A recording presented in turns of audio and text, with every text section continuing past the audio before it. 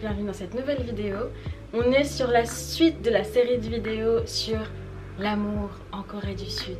Trouver l'amour en Corée du Sud. vous savez, si vous avez vu mes précédentes vidéos, il faut peut-être être un petit peu vigilante sur certains points et c'est pour ça qu'aujourd'hui, pour vous aider, si toutefois vous cherchez vraiment le grand amour dans votre vie, j'ai décidé de répertorier quelques petits éléments, quelques petits points sur lesquels il faudrait, à mon avis, se méfier si vous avez envie de rencontrer le grand amour ou du moins d'avoir une relation sérieuse en Corée du Sud. Donc ces petits points de vigilance, on les appelle plus communément dans le langage de la street euh, les red flags. Voilà. Donc c'est parti pour les 10 euh, red flags que j'ai identifiés pour la Corée du Sud. Premier point, Cacao Talk. Vous verrez, il y a plusieurs points sur Cacao Talk. si vous rencontrez quelqu'un qui vous dit qu'il n'a pas Cacao Talk, ce n'est absolument pas possible. Je vous explique. Moi actuellement, vous le savez, je suis à l'université ici en Corée du Sud et Kakao Talk c'est primordial pour vous dire au moment de mon inscription on m'a demandé mon identifiant Kakao Talk. Pourquoi Parce que les enseignants ont l'habitude d'envoyer tout ce qui va être planning des examens, les devoirs quotidiens et plein d'informations sur euh, le fonctionnement de la classe, l'université, etc. sur Kakao Talk. En fait, tout le monde fait des groupes par-ci par-là pour communiquer le plus facilement possible avec les élèves. Alors bien sûr, il y a les mails, mais Kakao, c'est un petit peu comme euh, WhatsApp, c'est très très instantané, donc c'est l'application à avoir. Idem pour le milieu professionnel, vous avez toujours plein de groupes sur Kakao pour plein de projets différents, etc. Donc vous ne pouvez pas vivre sans Kakao Talk en Corée du Sud, que ce soit clair et net. Deuxième point, on est encore sur Kakao Talk, mais ça peut aussi être applicable pour d'autres applications qui sont utilisées ici. Mais si toutefois vous voilà, rencontrez quelqu'un qui vous donne son cacao et que vous voyez qu'il n'a rien dans son historique, qu'il n'a pas de photo. Et quand vous cliquez sur cette petite photo, il n'y a pas de photo non plus avant et qu'il n'y a absolument rien, c'est que c'est une personne qui n'est pas sérieuse et il faut la fuir. Pourquoi? Parce qu'ici on a la possibilité de se créer des cacaos secondaires. Et donc en général si quelqu'un a quelque chose à cacher il va tout de suite créer un autre cacao talk. Donc méfiez-vous si la personne n'a absolument pas de photo. Idem si elle a une photo et que vous voyez qu'elle l'a uploadée il y a peut-être deux semaines. Je crois que ça sent pas bon. Troisième point. Alors, il y a un environnement dans lequel il va être plutôt simple de rencontrer des gens parce qu'en général, vous allez rencontrer des gens qui parlent un peu mieux anglais que euh, dans d'autres secteurs, dire ça comme ça. Euh, je parle des gens qui travaillent dans les lieux très très touristiques. Bien sûr, vous avez en tête tout de suite Hongdae, que je ne peux pas me blairer, même si c'est très proche de chez moi. Je déteste cet endroit, c'est-à-dire cette grosse rue principale là, je, je peux pas me la voir. Mais bon, ça c'est autre chose. Mais en tous les cas, vous avez peut-être Hongdae en tête, Itaewon aussi. Mais moi j'aimerais étendre ça, c'est-à-dire que même à Apujong, Songsu, Myeongdong, vous pouvez trouver des gens qui sont un petit peu comme ça. C'est-à-dire que vous allez être hyper appâté parce que c'est des gens qui vont vous montrer un gros intérêt parce que vous êtes étranger et que la personne elle parle anglais et du coup la communication elle est facile etc. C'est chouette, youhou, c'est super. Mais en fait, et souvent les gens qui travaillent dans ces milieux très touristiques et plus particulièrement dans les bars qui sont ouverts tard la nuit, les restaurants, etc. Ça euh, va être euh, une typologie de personnes qui adorent les étrangers et qui les euh, vénère un petit peu. Et du coup euh, c'est pas très très et euh, croyez-moi vous ne serez pas la seule ou le seul à succomber au charme de cette personne. Il y aura toute une liste après vous. Et même avant Quatrième point, si quelqu'un, voilà, vous sympathisez avec quelqu'un et si la personne au bout d'un moment vous dit, voit que vous n'êtes pas trop emballé et va vous dire, non mais tu sais, moi je veux être ton ami, t'inquiète pas, Vraiment, euh, viens, on est amis. Euh. Alors sachez qu'en Corée du Sud, l'amitié homme-femme n'existe pas. voilà, ça n'existe pas. Euh, les garçons restent avec les garçons, les filles restent avec les filles. Ça, c'est de l'amitié des deux côtés comme ça, mais les deux, ils se mélangent pas. C'est très, très, très rare d'avoir un meilleur ami, une meilleure amie. Sauf si vraiment, votre meilleur ami, ça va être la personne...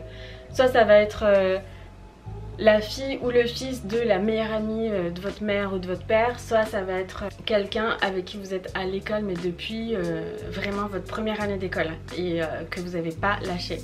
Autrement dit, je pense que vous ne pourrez jamais être le meilleur ami de quelqu'un ici, ce n'est pas possible. C'est simplement pour se rapprocher bien de vous, comme ça, et voilà, après quoi. Vous avez compris? Donc, euh, pas une bonne idée. Cinquième point, si euh, quelqu'un vous demande tout de suite quand il vous rencontre si vous aimez BTS, si vous aimez les ramyeon, etc. Non, non, je vais vous expliquer pourquoi. Parce que ici, euh, il y a tout un truc avec les fans de K-pop qui sont réputées pour être des personnes très très faciles. parce que elles sont beaucoup trop fans des idoles et qu'elles vénèrent un petit peu la beauté coréenne, etc. Donc être juste avec quelqu'un de coréen, pour elles c'est déjà vraiment une gloire. Et du coup, ces personnes-là, comme elles sont assez faciles, et eh ben c'est vrai que les Coréens vont un peu à la chasse à ces personnes-là quand ils ont envie de trouver des étrangers. Voilà, donc il n'y a jamais rien, rien de sérieux euh, après ça. Mais idem quand vous rencontrez quelqu'un, si au-delà du fait de vous demander si vous aimez euh, BTS, ça c'est vraiment la question de base, ou les ramyeon, si la personne vous dit tout de suite de l'appeler Oppa, ou si euh, la personne vous dit Ah j'aimerais trop que tu viennes chez moi parce que j'aimerais trop te montrer mon chat, je pense que... je pense que non. Alors, petit exemple. Sachez qu'il y a plusieurs semaines maintenant, j'ai rencontré quelqu'un que je vois régulièrement, qui est très très sympa. Et un soir, il m'a dit j'aimerais trop que tu viennes chez moi parce que j'aimerais trop te montrer mon chien. Donc je ne sais pas si ça compte. Et la fois d'après, il m'a offert un petit chat, une petite figurine de chat. Le chat qui est là d'ailleurs, que j'aime beaucoup. Est-ce que ça compte? Dites-moi. D'ailleurs, cette histoire me fait penser au point suivant, c'est-à-dire méfiez-vous des Coréens et des Coréennes qui utilisent plusieurs noms. Parce que ça, c'est tellement courant. C'est-à-dire que, vous le savez, à mon avis, mais souvent les Coréens, ils utilisent un nom qui est un peu plus... Euh, simple à retenir pour nous les occidentaux donc euh, voilà ils vont avoir un petit, euh, nom de tu vois mais c'est pas de ça dont je parle, je parle plutôt de ça déjà, vous pouvez euh, voir si la personne est honnête en lui demandant quel est son vrai nom et si elle vous donne son vrai nom. Je pense que ça va, mais en général c'est aussi parfois pour euh, conserver vraiment, euh, garder son anonymat complet. Alors même si en général ils ont très souvent le même nom de famille, etc. Ils aiment quand même bien garder l'anonymat. Mais je parle aussi des Coréens qui utilisent plusieurs noms coréens. Voilà. Et moi, ça m'est arrivé de tomber sur euh, quelqu'un que je fréquente toujours, hein, qui est euh, une, personne que je vois très très régulièrement. Un jour, je me suis rendu compte que euh, son nom, donc elle m'avait dit son vrai prénom, cette personne. Cette personne, sachez qu'elle m'avait donné et à la fois son nom de scène, donc un nom un peu plus... je dirais que c'est un nom, un prénom anglophone, voilà. La personne m'avait aussi donné son vrai nom. Et d'ailleurs, plusieurs fois, j'ai déjà vu euh, et son passeport et sa carte bancaire, donc je sais que ce sont ses vrais noms. Mais la dernière fois, sur Facebook, pareil, comme j'ai et à la fois son cacao et à la fois son numéro de téléphone, j'ai eu une suggestion Facebook en me disant « Vous connaissez peut-être telle personne ». Et là, c'était un autre nom coréen. Voilà, et j'ai dit à la personne, j'ai fait une capture d'écran, j'ai dit « Oh regarde, t'es dans mes suggestions d'amis ». Il m'a dit « Ah, bah ajoute-moi ». Ça s'est arrêté là. Mais sachez que quelques jours après, on était au restaurant et je lui ai demandé, euh, voilà, pourquoi. Et il m'a dit, ah, c'est une trop longue histoire. Et là, j'ai répondu qu'on avait le temps. Et il m'a dit, oui, mais c'est mieux de prendre le dans notre fois. Voilà, donc pour l'instant, euh, j'ai pas redemandé depuis. Je sais pas si c'est hyper intéressant, mais en tous les cas, il peut y avoir un petit truc. Point suivant. En général, vous le savez, c'est un petit peu compliqué de rencontrer des Coréens euh, dans la rue. Voilà, si vous n'êtes pas à l'université, si vous n'êtes pas euh, euh, salarié ici, ça va être compliqué de rencontrer des gens. Voilà, de façon assez naturelle, parce que voilà, dans les restaurants c'est compliqué, personne ne se parle, tout le monde avec son groupe d'amis, donc voilà, ça se fait pas trop ici. Donc de manière générale, j'ai constaté que nous utilisons beaucoup les applications. Mais alors sachez qu'il y a des applications qu'il ne faut absolument pas utiliser si toutefois vous recherchez une relation sérieuse. Parce que si vous recherchez autre chose, c'est complètement pour vous. Mais les applications du type par exemple Tinder, alors ça c'est parce que vous voulez mettre quelqu'un dans votre lit. Ça c'est une évidence. Peut-être que la personne vous allez la mettre dans votre lit une fois, deux fois, maximum ça va être trois fois mais sinon euh, ça va jamais aller plus loin. Et je vous le dis vraiment la moyenne ça va être une seule fois. Idem si vous êtes sur ce type d'application et que vous voulez absolument rencontrer par le biais de cette application c'est possible. Mais euh, je dis pas que vous pouvez rencontrer absolument personne d'intéressant et personne qui ait des valeurs qui sont proches des vôtres. Mais il y a des petites choses sur lesquelles voilà vous devez peut-être faire attention. Par exemple si la personne n'a pas du tout de photos en général sur Tinder c'est pas possible mais euh, vous devez je crois euh, publier 3-4 euh, photos minimum mais si vous voyez que c'est des photos avec un fond noir ou des choses comme ça, juste un bonhomme, des choses comme ça ou je sais pas moi, une guitare, bon, posez-vous des questions. Si toutefois aussi vous voyez des photos plusieurs photos mais que la personne n'a pas son visage apparent, qu'elle a toujours un masque ou alors que la personne elle vous montre que ce qui au niveau du nombril là. C'est-à-dire que ses abdominaux je pense pas que la personne soit méga méga sérieuse et que euh, en montrant cette première image euh, de euh, sa personne ça veut dire qu'elle veuille une relation sérieuse moi je suis pas sûre. Mais après bon, euh, vous vous faites comme vous voulez. Moi je partage simplement les points que j'ai recensés avec voilà euh, toutes mes copines, etc. Après, vous faites bien ce que vous voulez.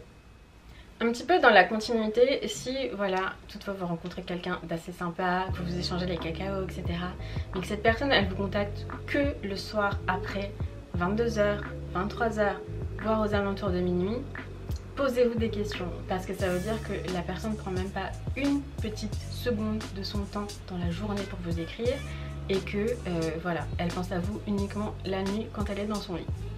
En général, ce type de coréen là, c'est juste pour savoir si vous êtes potentiellement ouverte ou pas parce qu'ils vont vous dire Oh, moi hey, ça veut dire qu'est-ce que tu fais?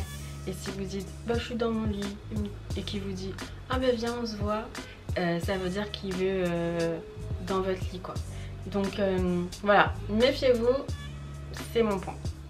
Point suivant, si évidemment vous rencontrez une personne sympa mais que pour le premier rendez-vous elle vous propose d'aller alors évidemment dans un hôtel vous allez dire peut-être que c'est chelou sauf si regardez bien si l'hôtel qui vous propose un rooftop etc assez sympa Parfois ça arrive mais c'est quand même assez rare si on vous dit hôtel directement c'est que c'est pour autre chose.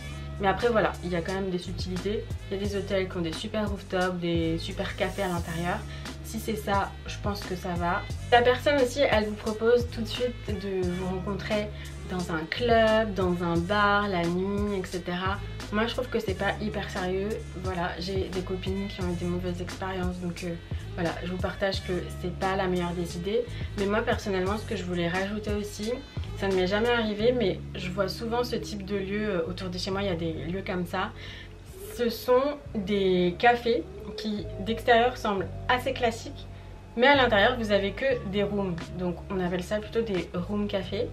Et euh, voilà, c'est comme si vous êtes dans une petite pièce un peu privée. Alors parfois ça se ferme, parfois ça se ferme pas.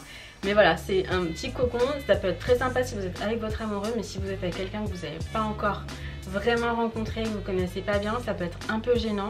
Et en général, voilà, c'est un entre-deux entre, euh, entre un café et un hôtel parce que vous êtes quand même un peu dans une bulle. Donc euh, en général, euh, les garçons ils aiment bien tester voilà, si euh, vous êtes ouverte ou pas. en étant un petit peu tactile, sachant que les Coréens, avec les gens qui ne connaissent pas, ils ne sont pas tactiles. Voilà. Point numéro 10, point ultime de cette vidéo. Bien sûr, il y a peut-être d'autres points, mais ça, c'est quand même mon dernier point aujourd'hui. Je vous l'ai dit dans une autre vidéo, mais ici, euh, les couples se créent vraiment très très rapidement.